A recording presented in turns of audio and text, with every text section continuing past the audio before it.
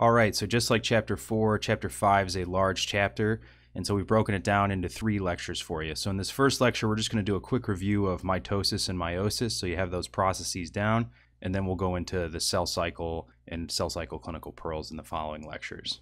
So first, mitosis. This is the process by which cells divide into genetically identical cells. So that's the key differentiator from meiosis.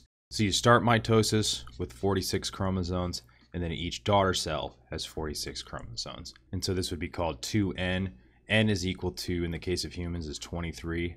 And so since you have 46, it's 2n. Same thing here, 2n. All cells in the human body are produced via mitosis except for the gametes. And that makes sense. Gametes are for reproduction, so you want to produce genetically unique individuals versus mitosis when, you know, say you're reproducing cells in the kidney or the GI tract, those organs you don't need to create genetically unique daughter cells. It's you just need new cells to replace the old cells, carry out the same function. So over here we have a diagram that gives you an overview of, of mitosis. You have interphase first. This is where the DNA is replicated before it undergoes cell division. Then you enter into prophase. Then prometaphase is a subphase between prophase and then metaphase. Then you have anaphase, and then you have telophase and cytokinesis, which is actually the cell division part.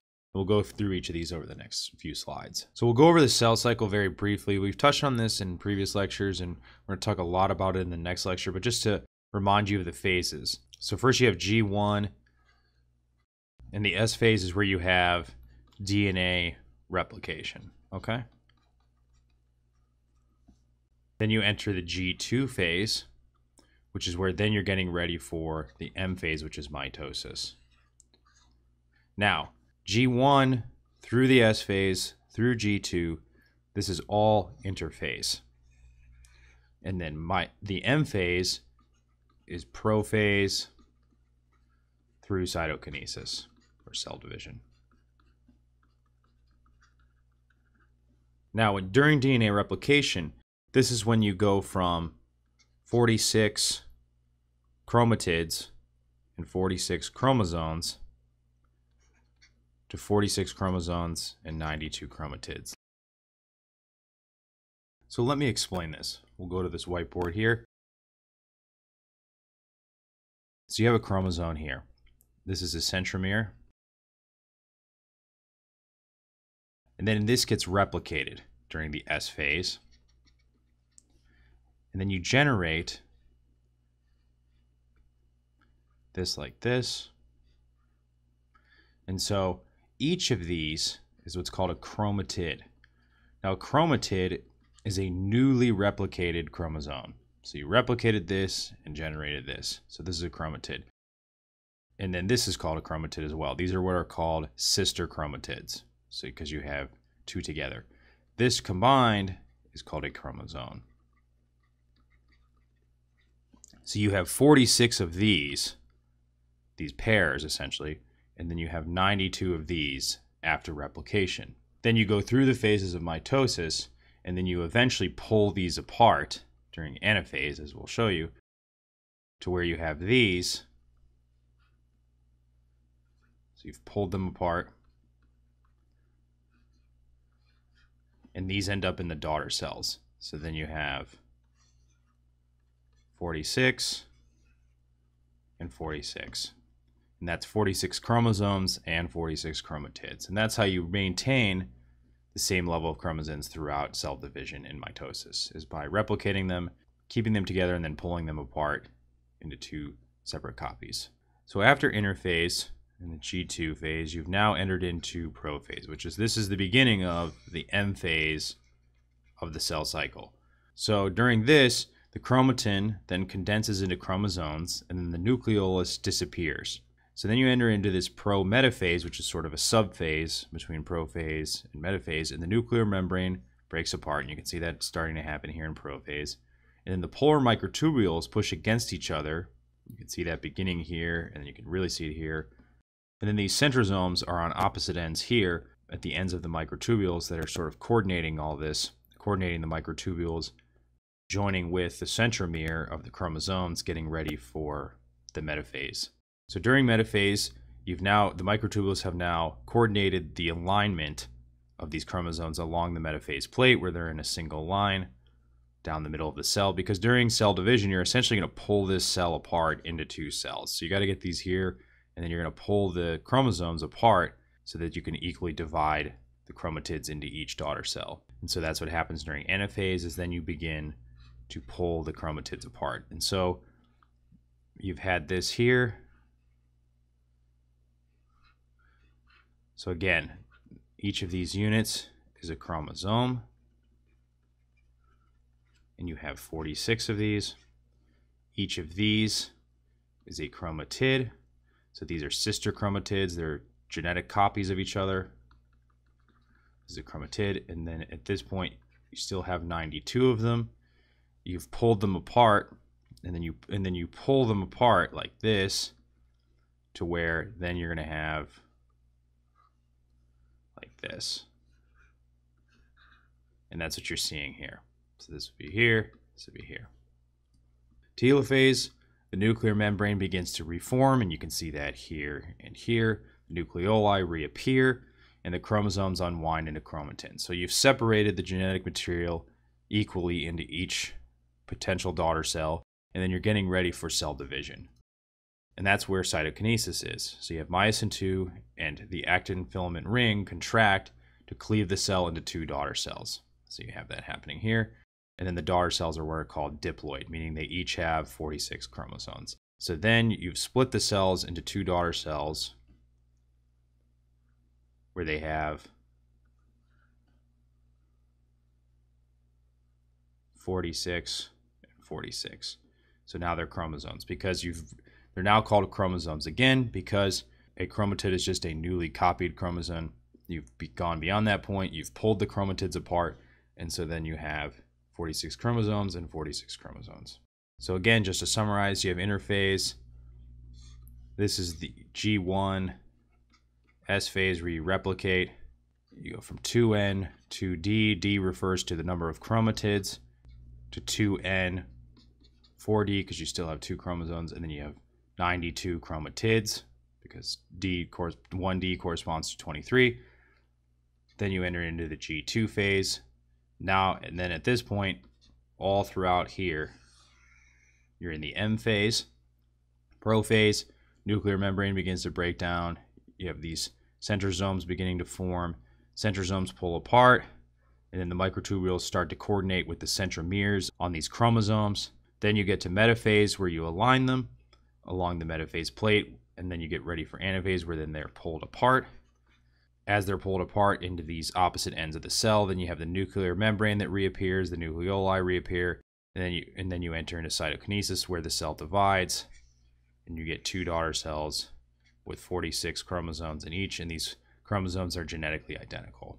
All right, so now we're going to go over meiosis. We're going to use this figure that's in your book. This doesn't have every single step of meiosis. It really just outlines the two phases, meiosis 1 and meiosis 2. So meiosis is a cell division process, and it consists of two rounds, meiosis 1, meiosis 2, that produce four daughter cells. So you can see that here. And the key thing here that differentiates it from mitosis is that each daughter cell is genetically unique and distinct from the parent cells. So each of these are genetically distinct from each other, and they're also genetically distinct from the original cell here. So you have interphase, just like you did in mitosis. So again, just to review the cell cycle, you've got G1 like this. Then you've got the S phase here where you've duplicated the DNA. And then actually in meiosis, you actually skip the G2 phase and go right into the M phase. So then again, you're going to start with a chromosome like this, and then you're going to duplicate it in the S phase. So you start with 46 chromosomes, and this is going to be 2N, 2D. You're going to duplicate this, and then you're going to produce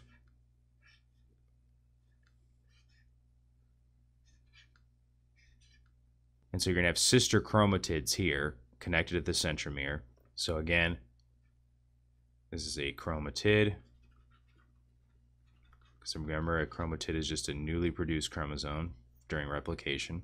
And then this pair of sister chromatids is a chromosome. And at this point, you're going to have 46 of these and 92 chromatids. And at this point, the genetic material is still identical. You haven't had any crossing over yet, so at this point it's still identical. Then you're going to go into meiosis. So interphase is followed by meiosis 1 and then meiosis 2. And then each of these consists of the four phases that you saw in mitosis. So prophase, metaphase, anaphase, telophase, and cytokinesis. So meiosis 1, just an overview. So the purpose here is to divide homologous chromosomes into two daughter cells, which reduces the number of chromosomes in each cell by half. So it's called reductional division. And so first, homologous chromosomes means that it's this, it's analogous chromosomes, one from the mom, one from the dad. So we could say this is D for dad, this is M for mom. So these carry analogous genetic material. It's just that you've you've inherited one from dad and then one from mom. So then you're going to divide these homologous chromosomes into two daughter cells, as you can see here. So you can see this pair here was then divided, it was divided here, and then this pair here ends up in this cell here. And so each chromosome, remember, so we'll go over here. This is a chromatid, this guy here, and then this is a chromosome.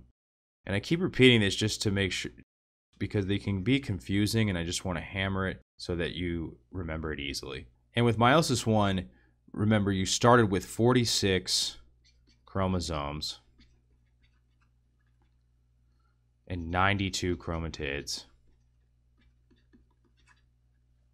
And this is 2N4D. Then you go to, at the end of meiosis 1, you produce these daughter cells. So you're dividing these in half. So you're giving 23 to one and 23 to the other. So you're going to have 23 chromosomes. So each daughter cell will have 23 chromosomes, but then each daughter cell is going to have 46 chromatids. And so it'll be 1N2D. And that's because you're dividing these pairs. So you're dividing this here, and you're passing these pairs onto here, and these pairs onto here. And so you have 23 pairs of chromatids. So you double it, and that's how you get 46 chromatids in each one. So each of these has 23 chromosomes, 46 chromatids, just like that. So prophase 1 is just like prophase in mitosis. So you have chromosomes condensing together like this. You have the mem nuclear membrane breaking down like this. And then you have homologous chromosomes that come together to form a tetrad, which is four sister chromatids. So this right here would be homologous chromosomes.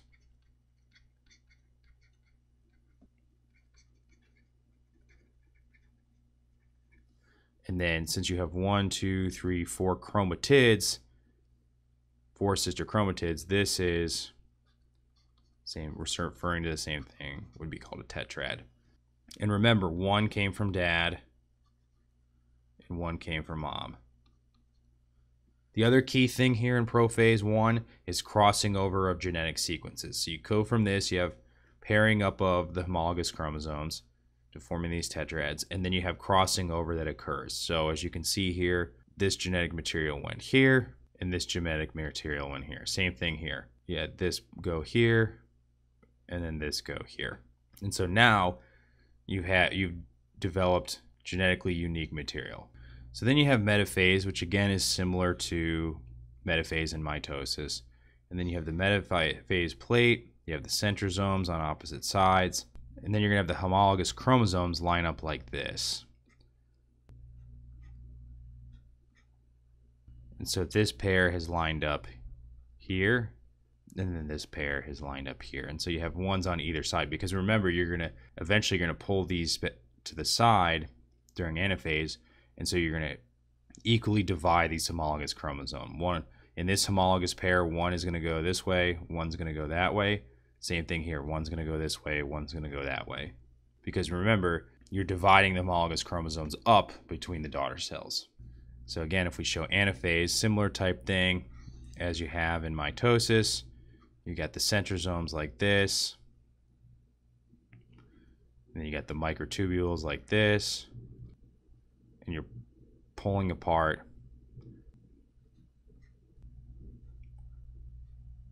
the homologous chromosomes. So you see this pair here, this is a pair here, you know, remember one from dad, one from mom. This is going to go this way, this is going to go that way. This is this this is this other pair here. Again, one from mom here, and then one from dad here.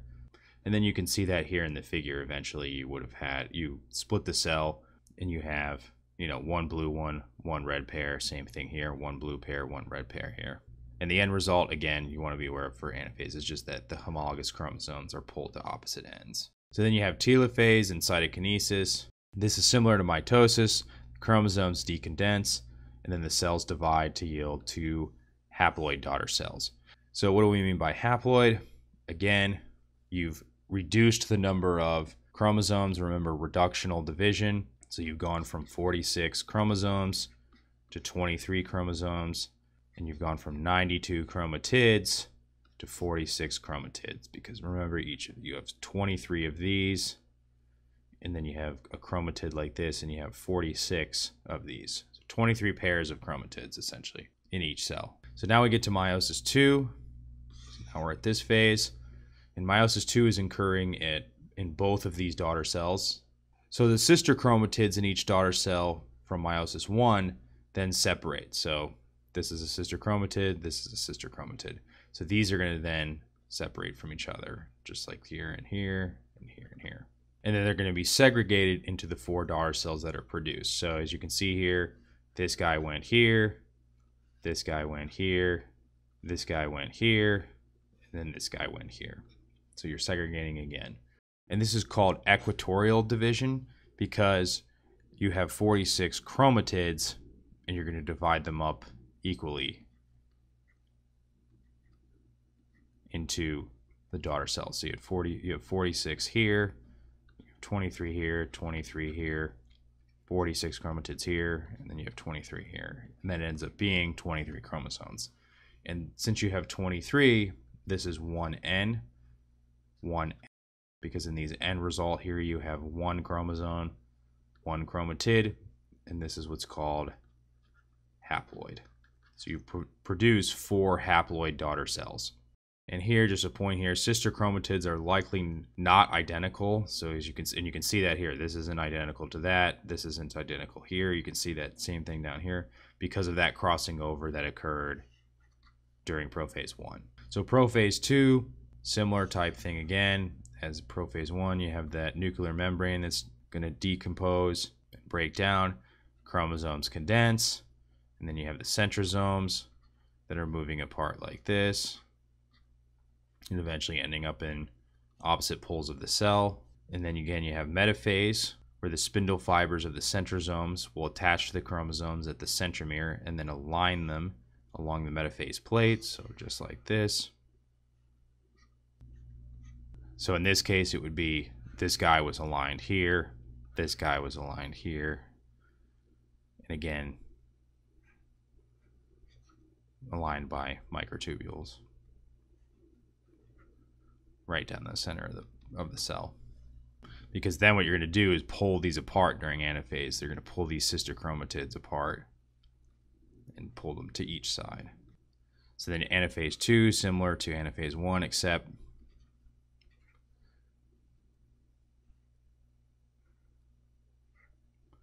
you're pulling these sister chromatids apart. So like this, so this chromosome got its sister chromatids pulled apart. So this guy went this way, this guy went this way. And then same thing down here. This guy went here, this guy went this way. And so eventually they're going to be pulled all the way to the ends so that then you can undergo telophase and cytokinesis, where again the chromosomes decondense, the nuclear membrane reforms, You have the nuclear membranes forming on each side. Chromosomes are decondensing like that. And then they divide during cytokinesis to give you four haploid daughter cells. So again, 23, 23, 23. And again, that came from 46 being split here in here. So again, we say it again here, they're haploid, meaning they had half the number of chromosomes as the original cell. Remember the original cell had 46 chromosomes and thus only have one copy of each chromosome. And then just to whiteboard this again one more time, just so you have a summary. If you think you have it down, you can skip over this part, but just so you can have it down. So again, we started with one cell, and it had 46 chromosomes. And it was 2N, 2D.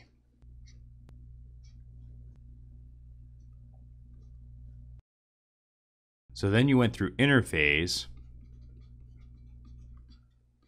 where you went through the phases of the cell cycle and underwent DNA replication. And then you produced still one cell, 2N, 4D, because then you replicated these and generated new chromatids. And so now you have 46 chromosomes and 92 chromatids. Then you go through meiosis 1, where you had, and again, this would be homologous pair of chromosomes because again, one would have came from dad, one would have came from mom. Same thing down here. And then you've split these like this.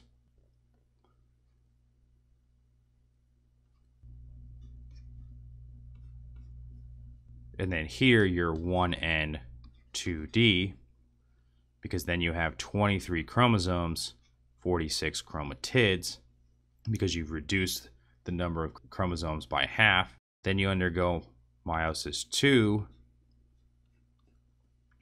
where then you equally divide these chromatids. So you're going to split these 46 chromatids up in each one into four haploid cells.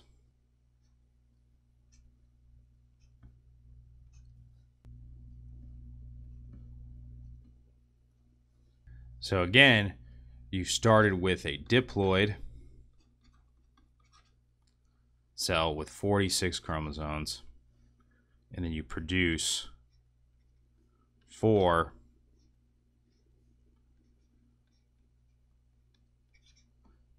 haploid cells with 23 chromosomes each. And remember, gametes are the major cells in humans that undergo meiosis. So in males, this will produce spermatocytes.